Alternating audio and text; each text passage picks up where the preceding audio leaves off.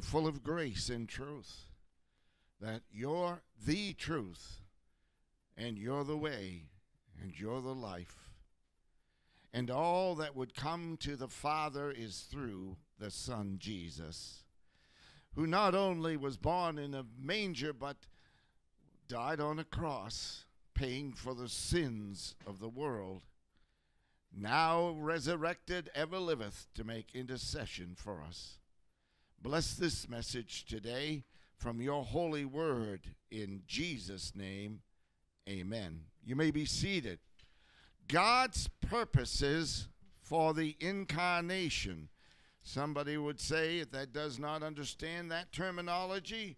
What does our incarnation mean? It means God became flesh and yet remained God to dwell among us. So Jesus was both God and he was both human being. It is the mystery of Almighty God, the creator of all things, the creator of each and every one of you. At this time of the year, you are likely to see representatives of the baby Jesus in uh, Christmas cards, and I received some beautiful ones today. And the ones that bless me are not Santa Claus or even beautiful winter scenes. It's about Jesus Christ, for that's what Christmas is really all about. You'll see it in Christmas cards, you'll see it in church dramas. Many churches have abilities to get together a beautiful, beautiful presentation in a play, a drama of the manger and all that happened during that time. But you will also see it in manger scenes wherever they're found. We used to find them all over the place, even in public, but now they have tabooed that and you have to do it in certain places that are permitted. Well, I can tell you, God goes in places that are not permitted and he does it through television, he does it through internet, he does it through you, and he does it through me. You can't keep the word of God bound, it will be proclaimed by God Almighty. They tried to destroy the printing press that would produce the Bibles, and God destroyed the one who owned the printing press that wouldn't produce Bibles. And Bibles on his printing press after he died were all printed all over the world. And God does that. You've heard of God's smuggler, people that will smuggle the word of God into nations. And sometimes those in authority look the other way because they know it is good to have these Bibles there. Right now, they're saying in China, don't have any Bibles. And if you openly meet You've got to tell me exactly what you're going to preach on. And if you don't preach on what is permitted by the government, then we'll put you in a concentration camp. The world doesn't like the good news, which I can't even understand. But the world hates Jesus. And yet they can't tell you why they hate him. They just hate him because it's in their genes to hate God because of sin and only when you receive Christ as your Savior do you fall in love with Jesus Christ. I've fallen in love with Jesus Christ. And for me, this time of the year and Easter are the best times of the year because it is a time when you can freely say, This is about Jesus. This is about Jesus. What goes through your mind when you see a manger scene? Do you see the story that's in the Word of God? Or do you see something that somebody's trying to make out of that that creche or that manger scene? And what they try to make out of it is a cute baby, and that's good. Let's celebrate that. But don't tell me what that baby grew up to teach. But you see, the Word of God cannot be bound, it will go everywhere. Most Christians are aware that John the Baptizer said this The Word became flesh and dwelt among us, and this is the Lamb of God that came to take away the sins of the world. Some even recognize the close connection between Christmas and Easter, but they never go to the point where they receive the Christ of Christmas and Easter as their Lord and Savior as wonderful as it may be to know what the Bible says, it's more wonderful to have Christ living inside of you and really understand what the Bible is talking about when it talks about Jesus, the incarnation, and the Word becoming flesh. Let's look at four purposes that God has for the incarnation. The Apostle Paul explains something very interesting here. He says, I want you to understand that we were blessed more than we can even imagine by the incarnation of Jesus Christ. It says this in Galatians 2:16 and Galatians 3:24. We are not justified by works of the law. The Old Testament said you had to be if you were going to get to heaven, you had to keep the law and uh, the Ten Commandments and the law, which was more than that, could not be fulfilled by mankind. The Word of God makes it very clear it was a tutor to lead us to Christ. When we found out that we could not save ourselves, we needed somebody that would take that place for us and save us. And that was Jesus. I remember when I was in my first ministry in Wolfeboro Falls, uh, New Hampshire. This is what was going around at that time. We can pull ourselves up by our own bootstraps. We can become good. I have never seen that happen. In fact, there's more violence in the world than there's ever been. You only have to turn on your TV to any broadcast that the world puts out, and you see violence upon violence upon violence upon violence.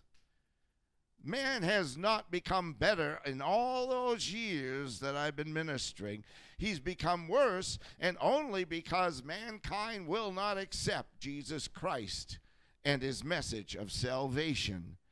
If I don't accept it, then I'm in trouble because it's the only way to eternal life. Some people say, that's so narrow. That's so narrow. There are many ways. There's got to be many ways. There's many religions. And as somebody said as they were preaching this morning, but all those leaders of all those religions are dead. Our Savior is alive and doing well.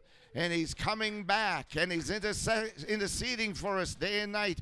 We've got the true thing, we've got the real facts because Jesus rose again from the dead on the third day. What could have changed those disciples like they were changed from fearful, hiding, to bold men that would die for the cause of Jesus Christ? They saw Jesus alive after he'd been crucified. They saw a living Savior. And that transformed their life so that they were willing to die for Christ and for the message that Christ taught. Are we willing to die for Christ if that was what would happen to us? Do we really believe the Word of God? Is Christmas real to us or is it some nice story that we like to hear? We like to set up creches in our homes. We like to sing Christmas carols. But do we really know Jesus? Do we really know Jesus as God in the flesh to dwell among us? By revealing that we have no capacity to keep the law of God. Remember what Jesus said? He said, if you break one of the Ten Commandments, you've broken them all. If you think to break one of the commandments, you've broken them all. How can I possibly say I've never thought any of the Ten Commandments to do them, to violate them? Of course, I've thought it. And that's why I'm a sinner needing Jesus. And Jesus paid the price, and all to him I owe. It is more than just a baby in a crib, it's a Savior entering the world to redeem mankind from the curse of the flesh by revealing what constitutes transgressions in God's eyes. The law brings us to the realization that all have sinned and all have come short of what God expects. I would expect nothing more of a person that had not received Christ as Savior.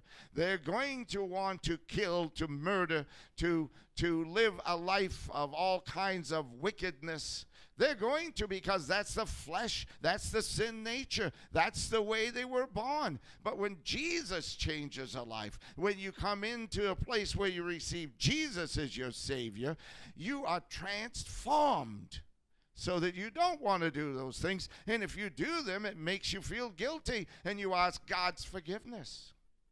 There are people I'm ministering to on the internet, on Facebook. And one particular person I remember ministering to just last night, I gave her the, the way of salvation. She says, I'm nothing. I'm no good. I don't have any reason to live. And that's what she was saying, even though she didn't voice it. And I said, But Jesus Christ can make you a better person than you've ever been. He can transform your life. He can fulfill your needs that you want me to fulfill in giving you money. He can give you all things freely because you'll be His child. And you know what? She's contemplating whether she's going to receive Christ. But she's still there and she's still going to hear the gospel message she's still going to hear that God can take care of her life. I wouldn't even quote to you what she said to me, she felt like. But I can tell you this it was not something I'd want to feel like. She's lost. She's in France and she's lost and god is reaching people all over the world through internet we've got 780 80 one or two or 85, 785 different hits that have befriended us. And God is reaching the world through the gospel of Jesus Christ. It is not anything we do, it's what God has done.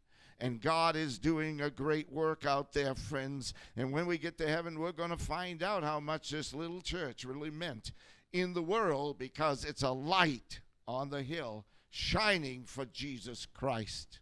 I thank God for every one that supports this ministry in some way because you're making the Word of God spread into places that we never even imagined it spread into.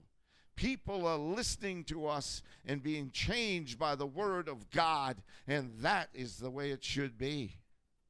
In Matthew 5 17, Jesus said, Do not think I've come to abolish the law and the prophets. He didn't come to abolish them. What does he say? I do not come to abolish them, but to fulfill them. I could not keep the law I could not keep what the prophets told me to do. I had to have somebody come and do it for me. And Jesus, God's Son, so loved the world that he came in the place of me and died on the cross, bearing my sin and your sin in his own body. So says the precious word of God. Please note number one on the screen, if you will. The first way Christ fulfilled the law was by personal obedience to it. Personal obedience to it. He never broke the law, the Ten Commandments, and the other commandments that were given beside all of that. The law of the Old Testament involved more than the Ten Commandments, according to the Word of God given unto Moses. God handed down, get this, 613 moral, ceremonial and civic requirements before the Hebrew people reached the promised land. And Jesus fulfilled every one of them, never violated one of them. He was without sin. Can I say that of myself? No. I can say that of Jesus because Jesus' Father was God the Father in heaven. God used a human mother but he did not pass on the curse through mankind with a human father. God was the father of Jesus Christ. Jesus would say, This is my beloved Son, in whom I'm well pleased. Or, Hear my beloved Son. He would always refer to his, Jesus on this earth as God in the flesh. And God in the flesh showed us what the Father was like. He was just like the Son in every respect, in every respect. Altogether, then, all these laws Jesus fulfilled in your place, in my place, so we'll never have to fulfill them. In Christ, they've been fulfilled. I've been washed by the blood of the Lamb. Number two on the screen, if you will. Jesus was born under this code, these laws, and he kept the entire body of legislation in all its five points so that he could redeem mankind and bring us into God's family. Galatians 4, verses 4 to 5. The only way I could become a member of the family of God was through receiving Jesus Christ as my Savior. And without receiving Christ, there is no other way to heaven. So says the Word of the living God. People try to climb in another way, and the Bible calls them thieves and robbers. And they can't get into heaven another way. You can't get into heaven by Buddha. You can't get into heaven by Mohammed. You just can't get into heaven by any of these false gods. It's only through Jesus Christ that I can get to heaven. I wouldn't want to say the Word of God wasn't true. Because in saying the Word of God isn't true, I have no way to get to heaven according to it. But I have received Christ as my Savior, and as a result of that, I'm a child of the King. I'm a child of the King with Jesus, my Savior. I'm a child of the King, and the King is God Almighty. It's God Almighty. The prophets had much to say about the coming Messiah people missed it because they thought it was Israel. But it wasn't talking about Israel. In Isaiah 53, when it talks about the suffering servant, they thought that was Israel. But if you look at it really deeply, you find out it can't be Israel. It's talking exactly about Jesus Christ. And Jesus shows that when he comes and he's on this earth, despised and rejected of men. You see, people misunderstand the Word of God or misinterpret it because they try to make it about somebody but Jesus. But it's all about Jesus. You've got to start with the premise the Bible is telling you what about Jesus. He's a promised Messiah, then he comes as the Messiah. He's the coming king, and he is the coming conqueror. He is all things. Take a look up there in this this beautiful flag, and you will find out that God is more than that. He's far more than that. Number three, if you will go to that. Second, his life on earth proved that every single scriptural messianic prediction was true. Every single scripture about the coming Messiah is found its fulfillment in Jesus Christ. Every messianic, that's talking about the Messiah that was to come. And how did they know this in the Old Testament? Years before Jesus fulfilled it.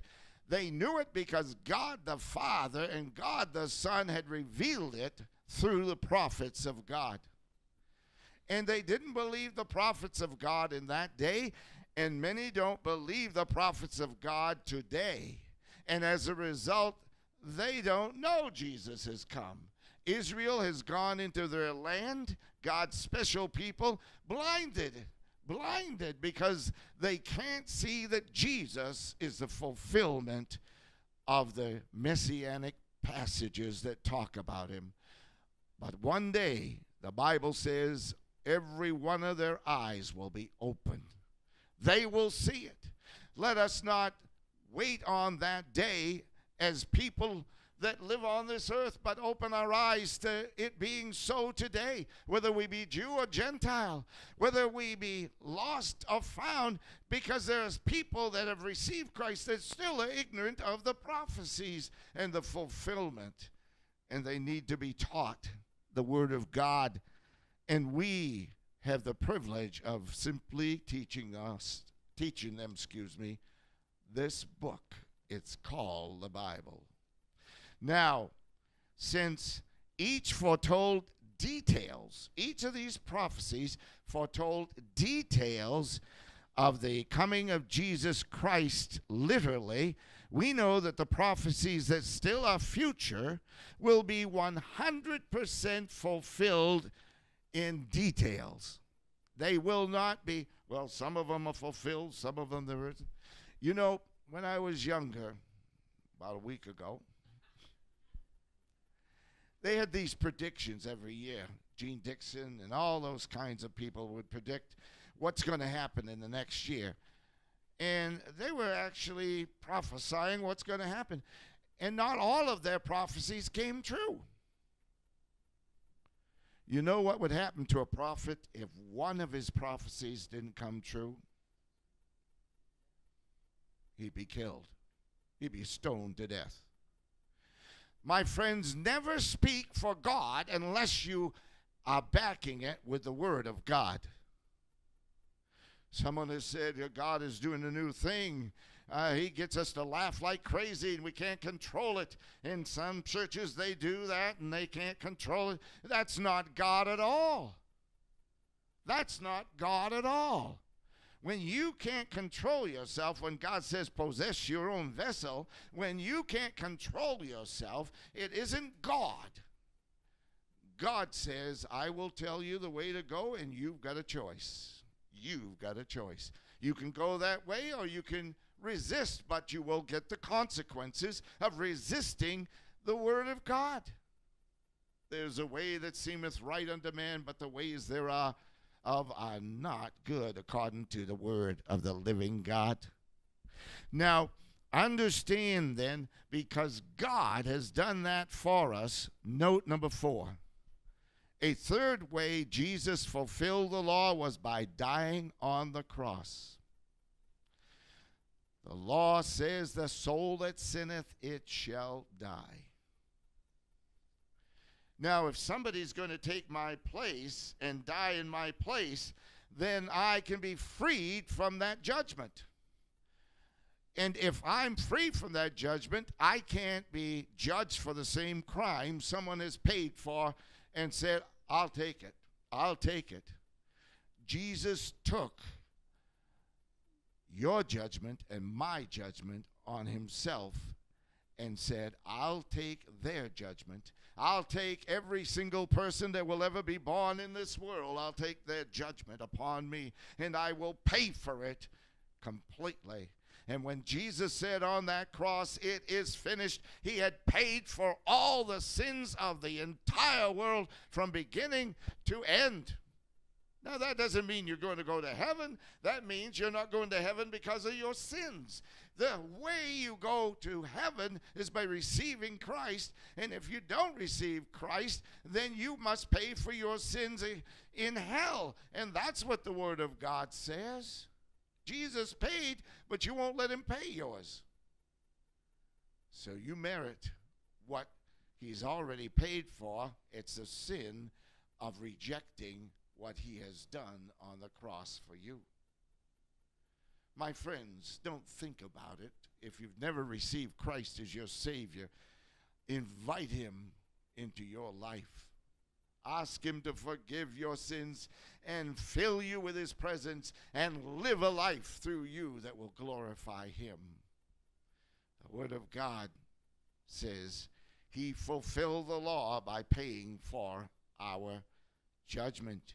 He was the final offering, the final sacrificial offering.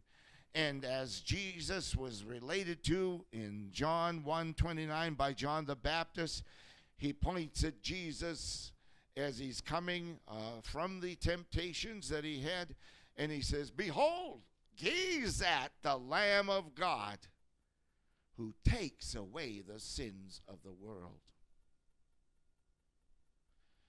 Don't say, Not me. I don't want him to take away my sins. And you know there are people that actually say that. I don't want to hear it. I don't want Jesus in my life. My friends, pray for them. Pray for them. According to Romans 6:23, the wages of sin is death, since no one is sinless according to Isaiah 53 verse 6. We all owe a debt for our transgressions, and it is Jesus who's doing the willing to pay for it. But you and I have to make that decision. Lord, I let you pay for it for me. Number five, and God's justice demands payment for this debt, such a debt. If Jesus Christ had not come to pay our penalty, we would have to have paid it ourselves. Do you realize that all of us at birth and until the age of accountability came, we were destined for hell when the age of accountability came, God said, Now I, I won't send you to hell as a child, but if you don't receive Christ, now that you know the difference between good and evil, and you know that God saves those who will receive Him. So as a youngster, I received Christ as my Savior. But if you don't receive Christ and you have come to that age of knowledge, when you can tell the difference between right and wrong and you presented the gospel, then there is no other way to heaven. There is no other way. Jesus came to give you a way to heaven. Don't ever deny that for yourself, but thank God for it over and over and over. You remember well John 3:16 for God so loved the world that he gave his only begotten son that word begotten in another translation is unique son there was no other God man. He was unique. God gave his Son that whosoever believes in him receives him and his sin offering for their sin should not perish. Perish does not mean going out of existence, but going to hell for eternity. And by the way, you don't go to hell and see other people, and you don't have Satan ruling it either. It is a place of isolation and torment. You don't want to go there. He came that you would not perish if you received him, but have eternal life. I'm so glad I've got eternal life. I'm so glad that to be absent from the body, for me, because I received Christ as my Savior, is to be present with God. I don't go to purgatory. I'm present with God. There is no reason for anyone to go to purgatory. If Jesus paid it all, how can they pay and how can I help them to pay for their indiscretions and their sins? That's foolishness. God bless our Catholic friends, but the scriptures don't agree with you. Not at all.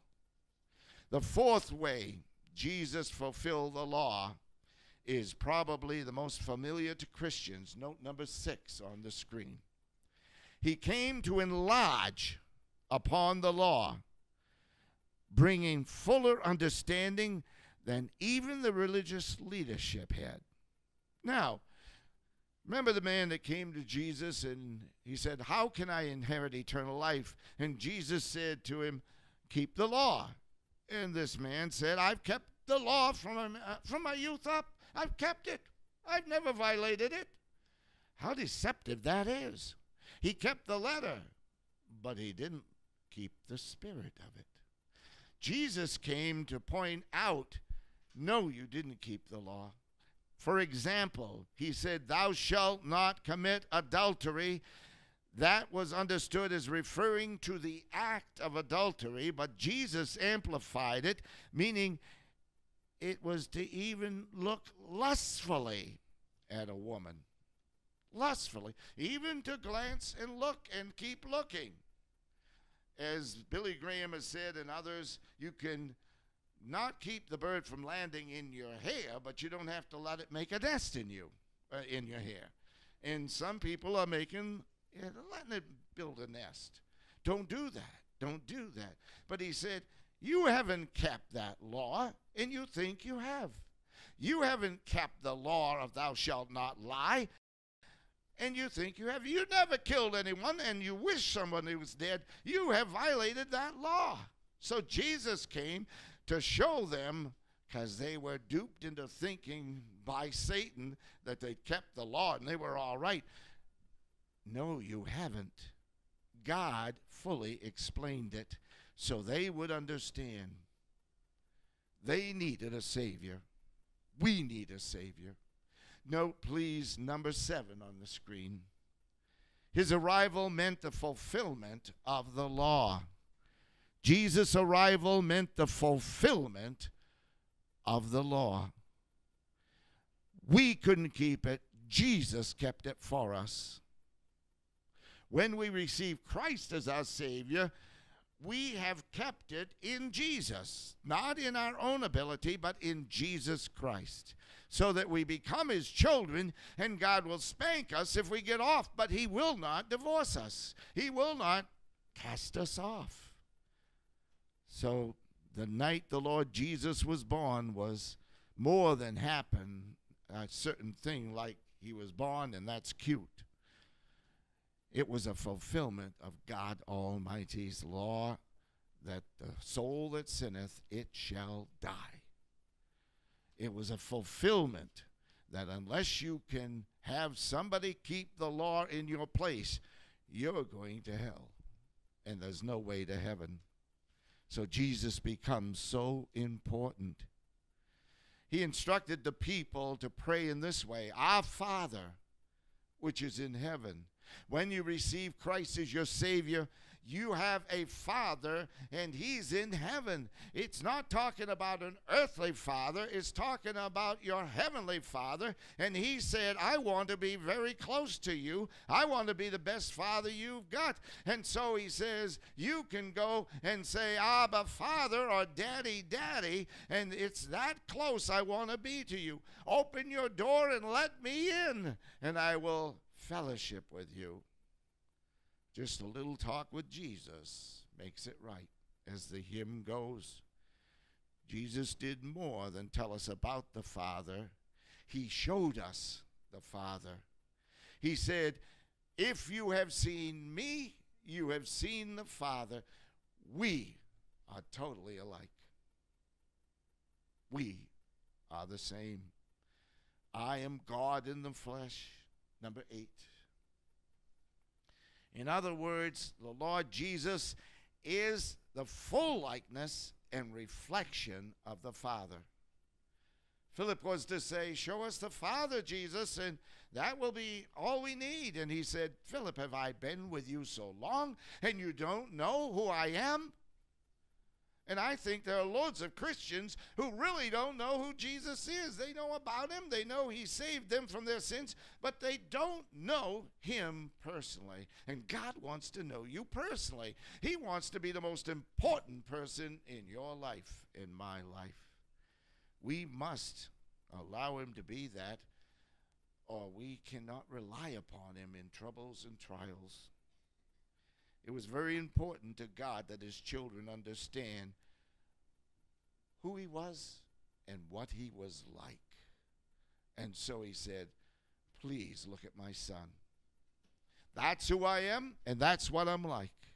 Number nine, he wants us to know that he is not merely a God of holiness, wrath, and justice, and he is a God of holiness, wrath, and judgment of justice, but he is also loving, kind, and merciful. Someone said in the Old Testament, he's a horrible God. He's a terrible God. And in the New Testament, he's a loving God. You haven't read either of the books. He is both. Uh, all of these things in both the Old and the New Testament. He's just showing you his love, perhaps more than you know in the New Testament. But people died for not following him and living their own way in the New Testament as well. Remember Ananias and Sapphira? If you don't, you need to read the Word of God. Jesus came to testify to the truth. Number 10, the truth is that man without Christ is lost, which means that by choosing disobedience, a person is separated from God. God wants us reconciled to Him. Note number 11, if you will. Christmas is God's marvelous eternal provision for mankind, the means by which every one of us can have a personal, personal relationship with our Creator and be freed from the bondage of sin. If we don't get to know Jesus now, when will we? This is the place we can serve God the best. In heaven, it's all wonderful and cleansed and pure and spotless. Here, we have to represent Jesus because there are people lost and lonely and discouraged. Jesus came to give abundant life as well. Abundant life. Can you truly say you have abundant life or humdrum life? Abundant life comes by getting to know Jesus and trusting Him. Number 12, to the mind of God, it is not enough that we should receive forgiveness of sins and thereby just look forward to eternal life. He wants us to have abundant life right here, right now, John 10 10. He wants you to have a life worth living, a great life, a joyful life, a uh, you know, some people have said, I won't receive Christ, I'll lose all my fun. You get fun when you receive Christ. You know God loves you. You know God has forgiven you. You know God has a plan for your life. You know that God watches over you, that nothing can happen that He doesn't turn into a blessing in the end. You know this because the Word of God says this. And therefore, you have what is called a life worth living, abundant life. The message of Christmas is that the eternal God, Son of God, the eternal loving God came to dwell among men, and also through in his indwelling Holy Spirit, he lives within inside, inside of each of us who have received him as our Savior. I have the Holy Spirit to guide me. I have the Holy Spirit to make me feel guilty if I don't let Him guide me. I have the Holy Spirit to show me the way to live. If you've already received Christ as your Savior, then abide in Him. Live and get to know him personally. If you have not received Christ as your Savior, then you need to receive him before it's too late. One breath away, eternity takes over. And if you haven't received Christ, there's only one place God can send you, and it is a place that he does not want to send you. It is hell. Won't you receive Christ? Let's bow for prayer. If you've never asked Jesus Christ to be your Savior and you're watching by the internet or public access or any place that the video is going, then why not receive Him now? Jesus wants you to have a great Christmas. It can come if you receive Christ, the greatest gift that God ever gave. Just say these words Dear Jesus, come into my life, forgive my sins I want you to take over my life. I want to live for you, and I want to be saved by your grace. I really want to experience Christmas through receiving you as my Savior. And I pray this in Jesus' name. Amen. If you have made that decision, please let us know. Don't be silent about it. We'd love to hear from you that you receive Christ as your Savior through this broadcast. You simply write, if you're in the United States, to the Bible Speaks, 40 Belvedere Street, Lakeport, New Hampshire, zip code 03246. And if you're on the internet, then simply email us at ourhornet2 at metrocast.net. God bless you until next week at this time.